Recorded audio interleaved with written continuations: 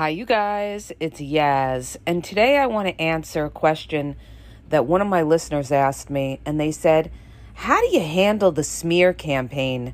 How do you handle the fact that the narcissist is going around making up lies about you and, and making everybody think that you are this crazy person? You have mental issues. There's something wrong with you. And here's what I have to say to that, okay? You have to understand how a narcissist's mind works. When a narcissist has, you know, endured a narcissistic injury, for instance, let's say you left the narcissist, or you broke up with the narcissist, or you abandoned the narcissist, that narcissist is not going to just let it go. They're going to feel the need to have to rip you up behind your back and destroy your reputation. The, the first people that the narcissist will run to is their flying monkeys, okay? They're going to run to their flying monkeys because the narcissist is a very insecure person that needs the flying monkeys to tell them, you're right. She or he was crazy. I don't know how you put up with that so long. You know, there there's something wrong with them mentally. You're so much better than them. Okay, so you gotta expect that when a narcissist, you know, when when you leave the narcissist, okay, that narcissist is gonna want to destroy you because they can't handle being abandoned. So they want to hurt you in some way. See, narcissists, they they've got to always seek revenge. A narcissist will always want to seek revenge because of that fragile ego ego. How dare you you know leave them? They were superior to you. Because a narcissist always thinks in their pea brain mind that they're better than you. So in order to make themselves feel better and also to try to hurt you to outsiders they're going to smear you okay? So you got to expect that. You got to expect that the narcissist is going to sit there and try to hurt you in some way Another thing, too, you know, even if it wasn't a case of you breaking up with the narcissist, when you're dealing with a covert narcissist, smearing you is one of their tactics to hurt you because with a covert narcissist, they don't fight directly, they fight passive aggressively behind your back. So, what a covert narcissist wants to do is they want to isolate you and abandon you and make you feel alone because this takes away your power of having self esteem or feeling good about yourself. So, what they'll do is they'll talk to other people and make like, you know, they were so empathetic to you, but you're the monster. Okay, this is one of the reasons why covert narcissists are so nice to outsiders and cruel to you because they want these people in their corner so that today or tomorrow they have you have a falling out with the covert narcissist everybody's gonna you know side with the covert narcissist because the covert narcissist has already manipulated everybody to think that they're this nice person, they're this kind person, they were so good to you, and you're the big bad wolf, okay? So that's another reason why they do those things. But one of the things that you have to keep in your, your mind, okay?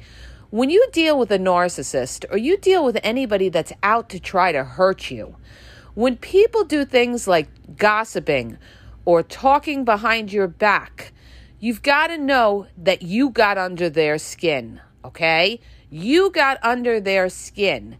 So when you find out that they're talking about you, you have to sit back and, and, and say to yourself, you know what?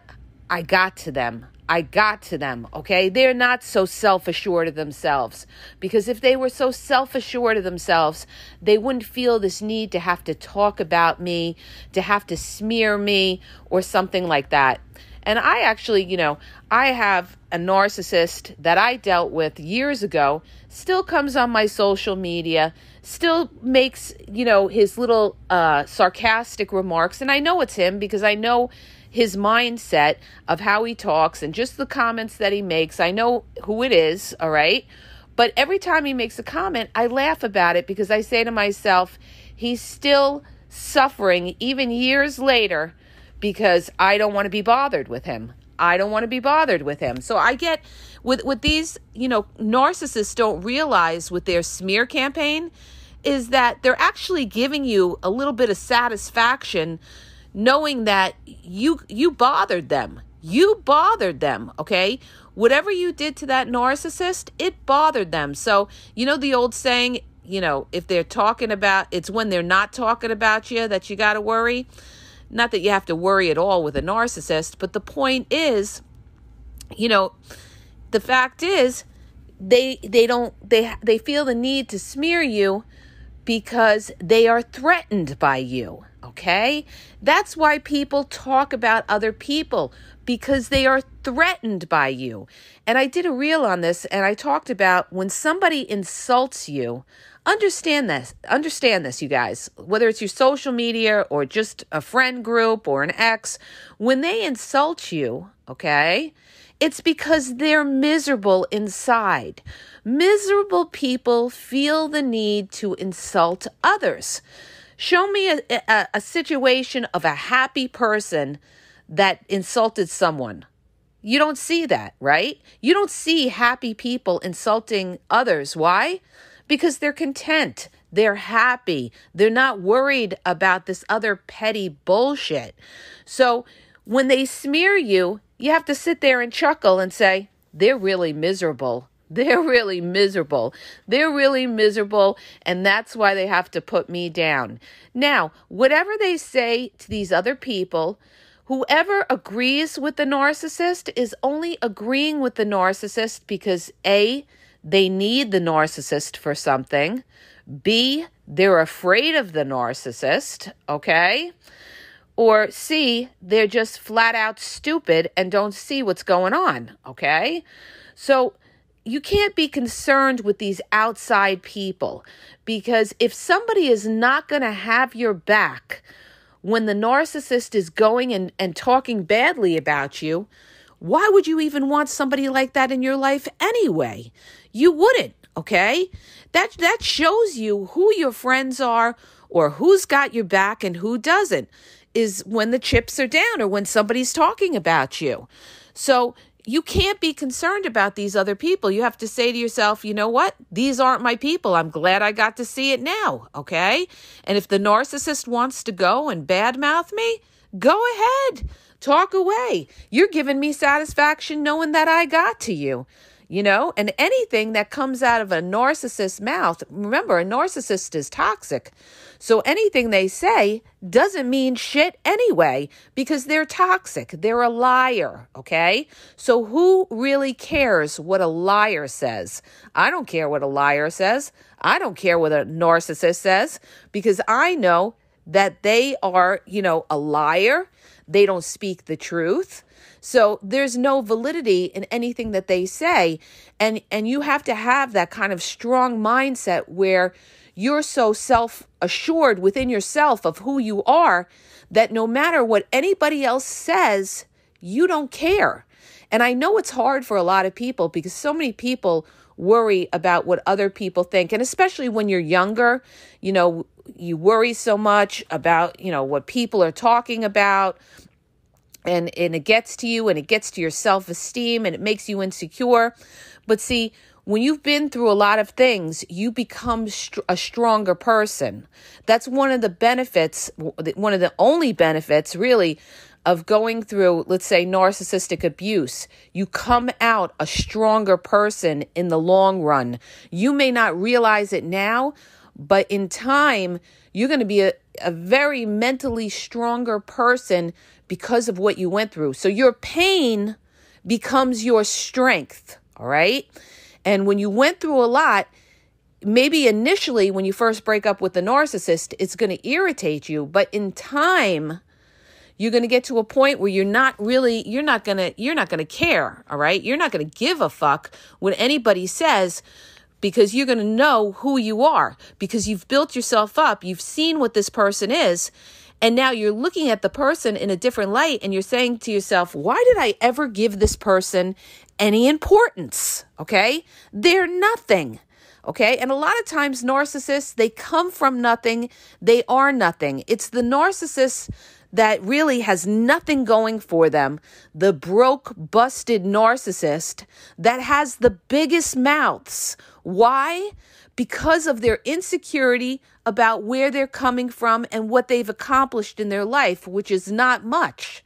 So, those are the narcissists that are going to have the biggest mouths. And you've got to understand it and expect them to run their mouth on you because they have nothing going for them. Okay. They're losers. They are losers. Okay.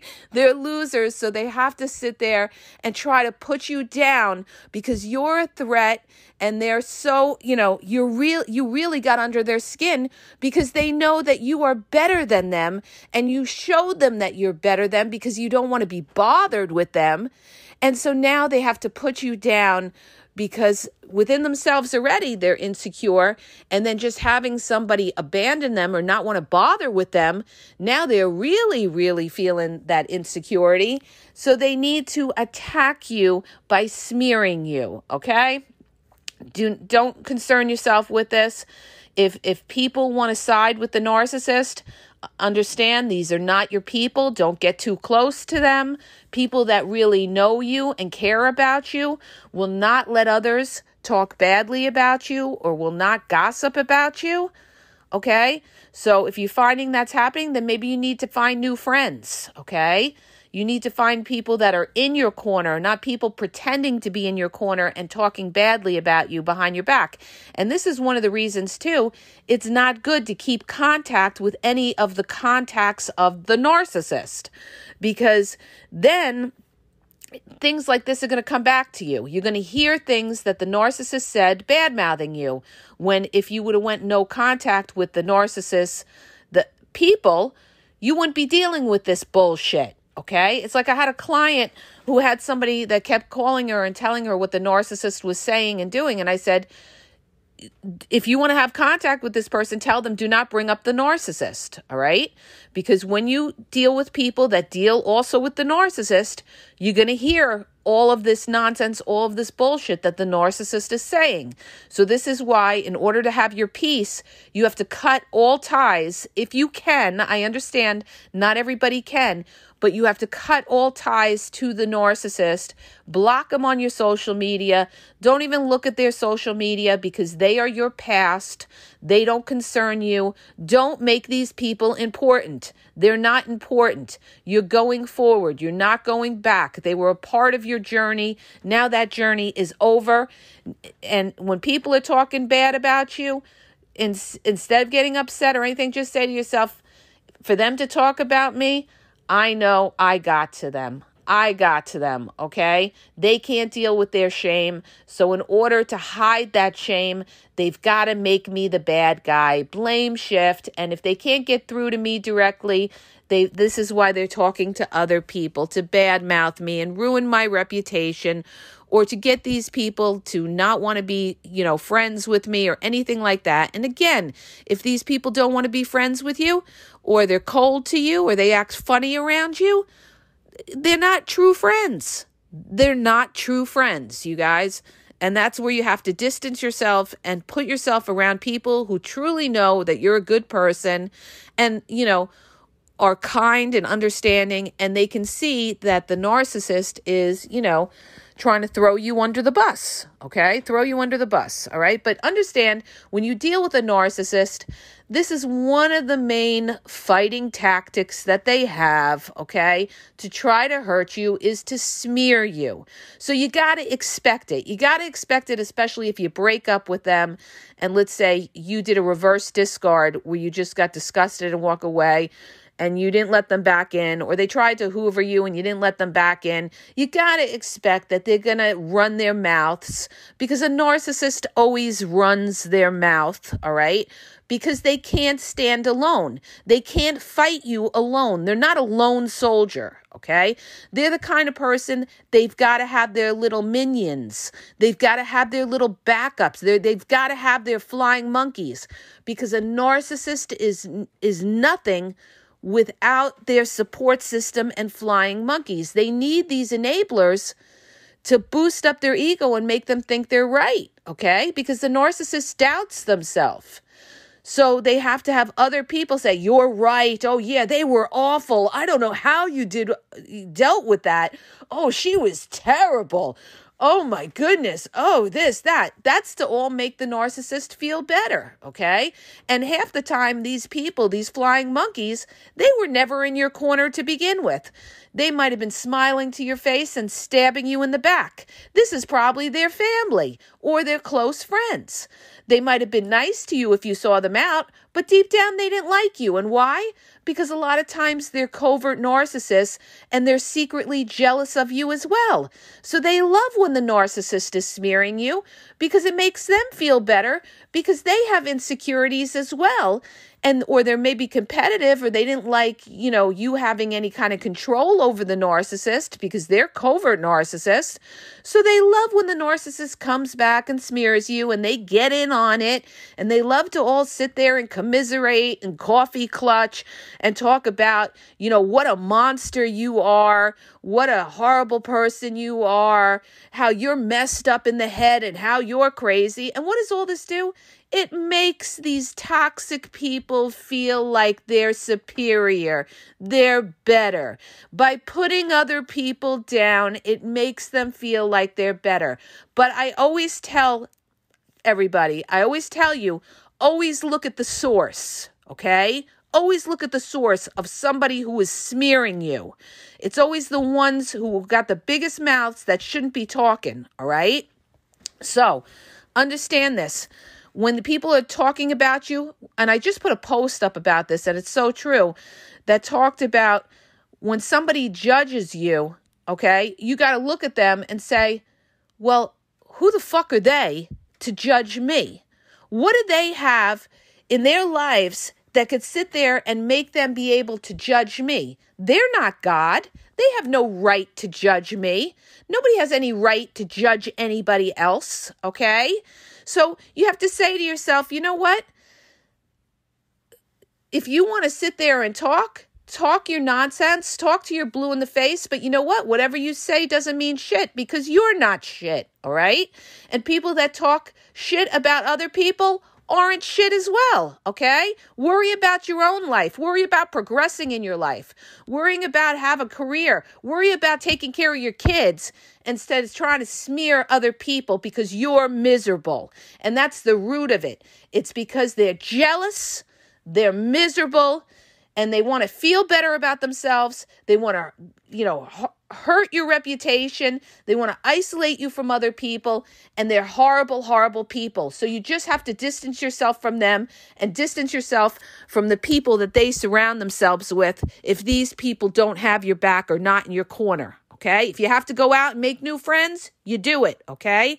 Because you don't want to keep people in your life that are trying to hurt you or talk badly about you. All right. So that's the whole mindset of the toxic narciss- narcissist, okay, and the covert narcissist is to they love gossiping, love talking behind your back because you have you know, you have hit a nerve in them that they are so incredibly angry or jealous or you know, you've gotten under their skin so they feel the need to rip you up, okay?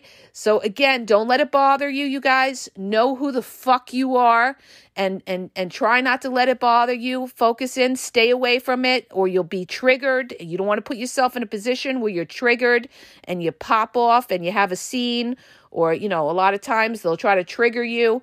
They'll call cops on you, whatever. That's why you got to stay away from this toxic crap, all right?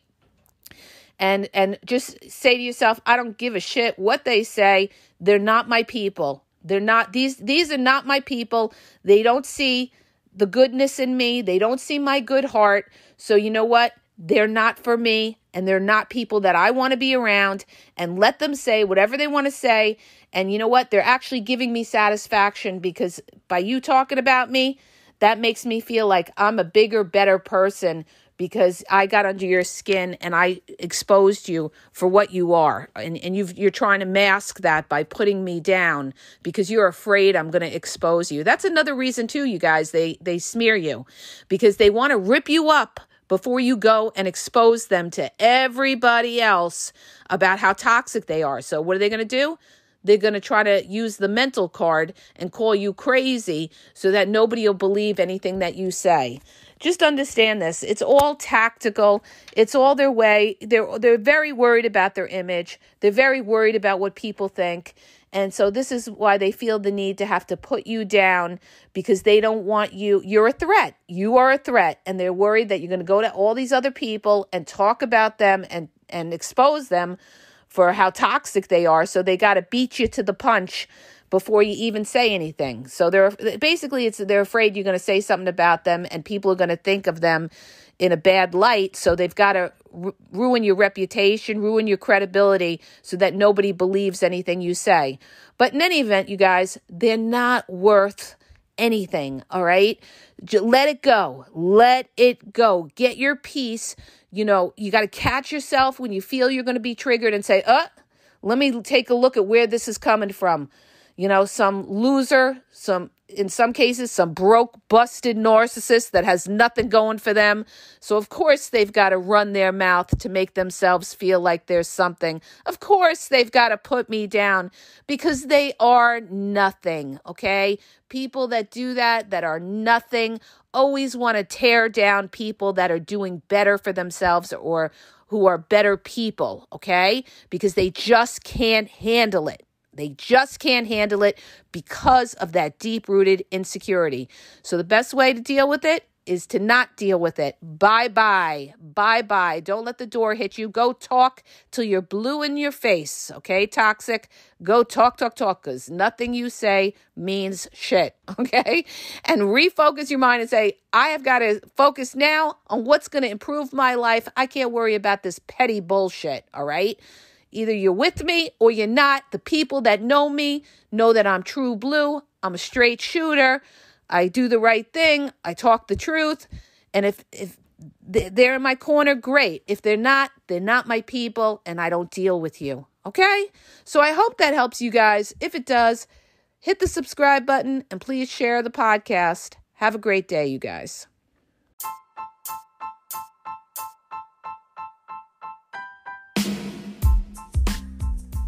If you guys are having a problem in your dating or relationship, or you're dealing with somebody maybe that's narcissistic, you don't know if they're a narcissist, or you're just having problems, you're in a toxic relationship, and you need some clarity on it, go to the link in the podcast description for my website where I offer email and phone coaching.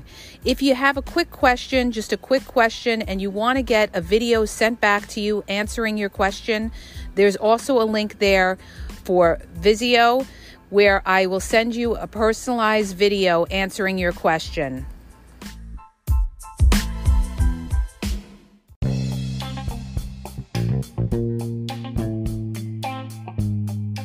Hi, you guys, it's Yaz, and I want to tell you about my two books on Amazon. The first book is Regain Your Power. It's all about power and relationship. Who has the power in the relationship? And it goes into all of that, okay? The other book is Signs He's Not Into You, He's Wasting Your Time, okay? Check it out. It gives you a lot of good clues as to whether you're with somebody who's a real one or somebody who's just going to waste your time. You could read them both with Kindle's free trial membership. So check it out. Link is in the podcast description.